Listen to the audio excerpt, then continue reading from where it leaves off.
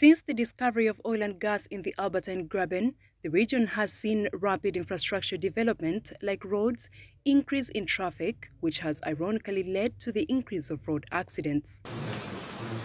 Peter Banura, the Kikuube district chairperson, says the district leadership requested the Ministry of Works and Transport to bring driving licenses services near to the people in order to reduce road carnage. The issues, the problems you hear every time, the accidents with the, sugarcane uh, trucks, accidents with the trucks, accidents with the small vehicles, the boda bodas, all these issues come up because of these small issues of being unworthy to be on the road. You yourself, as a driver, it's not all about knowing just because you can sit behind the wheel, behind the steering, and you're able to steer the car on the road that you are roadworthy.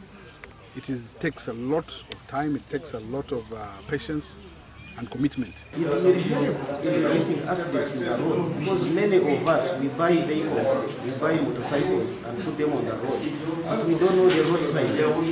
And the reason why the person should get a license is a document that permits you to go on the road. However, the process for you to get a license involves you to know about the road mappings, the road signs and everything.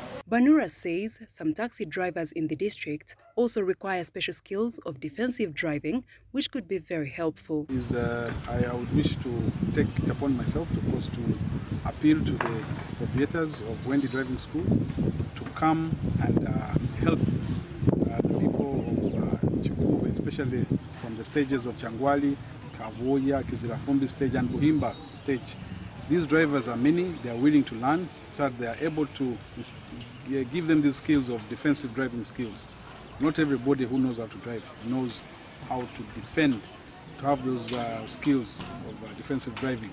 So once we have uh, mastered and had these skills, I think we'll be able to, you know, to, to, to cause a reduction in some of these accidents. Drivers in the region have been advised to utilize this and acquire licenses. Full computers ready to issue the driving permits in Kikuube here, one-stop center.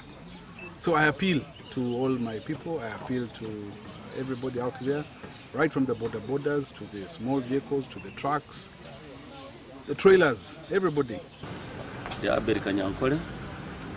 We have been in Kikuube for three days now, but the turn-up is poor and we wonder why. But I want to thank the leadership of Kikuube district for bringing this service closer to the people.